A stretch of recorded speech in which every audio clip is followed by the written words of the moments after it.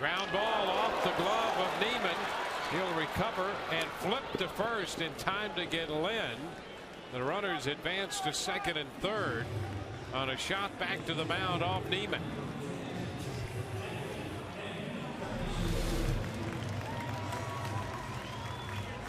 Right on. Might have, might have got him right in the right ankle. Yep. He got that foot in front of the glove.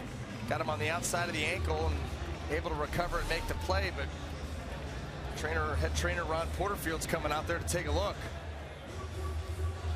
Yeah, you can see on the replay on the outside of that right ankle.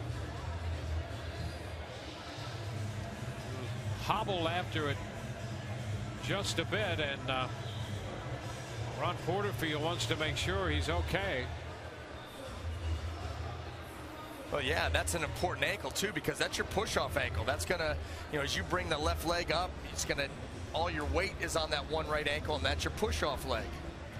They want to make sure that Niemann is all right. Ron Porterfield is out. You know, this might be a case where he finished the first inning and got in there into the dugout, sitting for a while, and uh, it might have stiffened up on him.